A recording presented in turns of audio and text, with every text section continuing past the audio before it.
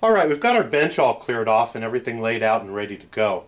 Um, first thing that I want you to do is to lay your hub carriers out oriented just like you see them here on the bench.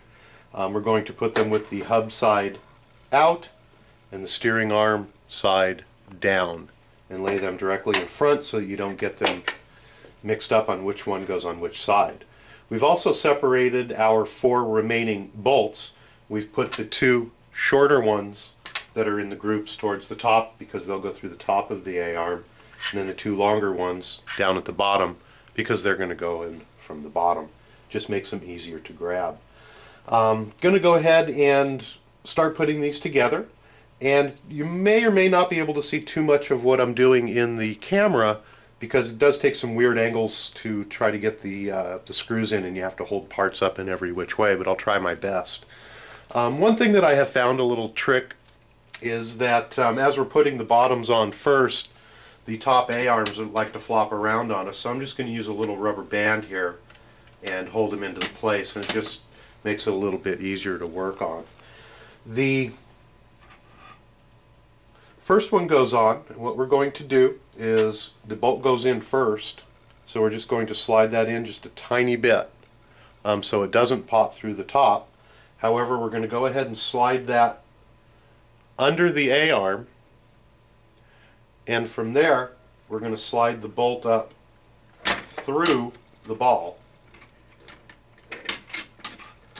like so. Let me see if I can get a little bit of a uh, close-up on this for you so that you can see.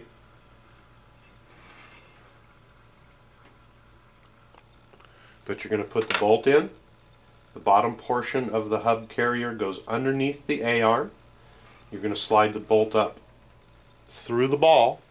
And then at that point, you're going to put the cone washer on.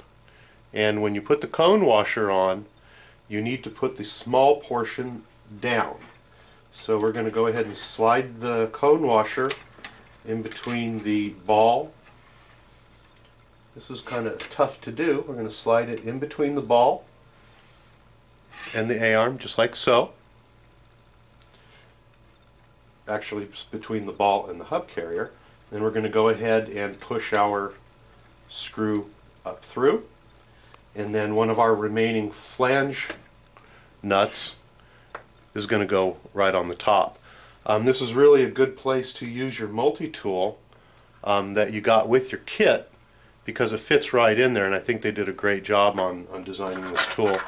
So we're going to use the multi-tool we're going to go ahead and insert our, our flange nut in there and we're going to go ahead and put that in through the center here so that you can get it tightened up.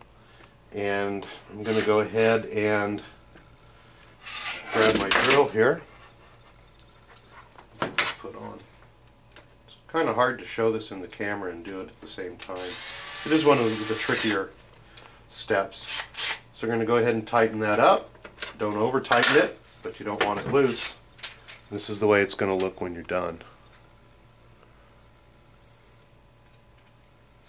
We've gone ahead and again put the bolt in with the A-arm going on top of the hub carrier. Slid our bolt through the ball, put the cone with the small end down, slid the bolt further through, and put the nylock on. Okay, the top part is actually a lot simpler going to go ahead and remove my rubber band and put it over there to keep this one from flopping around. Going to go ahead and grab the longer bolt, or the shorter of the two bolts, put it through, go ahead and drop it down, and screw it in. Remember we put these little uh, bolt holders in in the last page, and that has our retaining nut in it.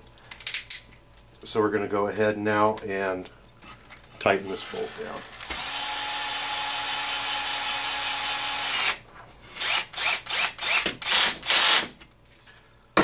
Okay, what we've done is we've just installed one of the hubs onto the front A-arms. Um, it should flop around freely. Um, there should be no binding involved. If there's any binding, you're going to want to take a look and uh, see if you did something wrong. So we're going to go ahead and um, do the other side now. I'm going to back the camera out, get a better view at it, I'm just going to go ahead and uh, try to whip through this one.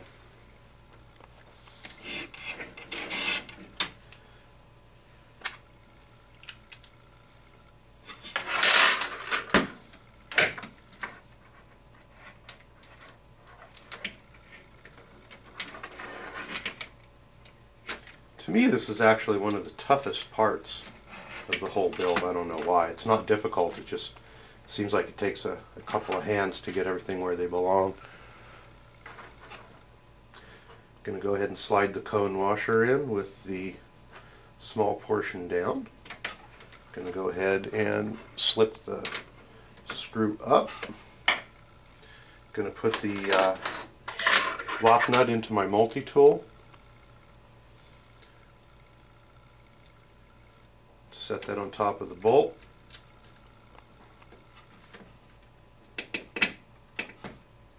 Then go ahead and tighten it up.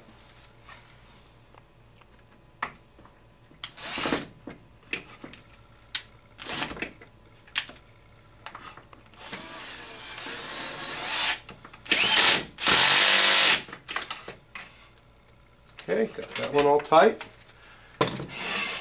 We're going to go ahead and put take off the rubber band and go ahead and put on the, uh, the top one.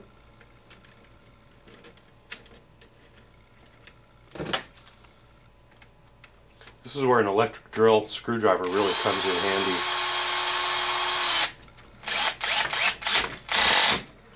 Okay, that one's on. Let's make sure that uh, there's no binding going on. All right. Now we have our front hub carriers all connected up, ready to go. This is what it should look like. Try to hold it up for you there. And again, everything should operate freely. It's starting to look like something now, isn't it? Okay, we have successfully up to this point finished page number 14 and we're going to move on to the steering assembly on page number 15.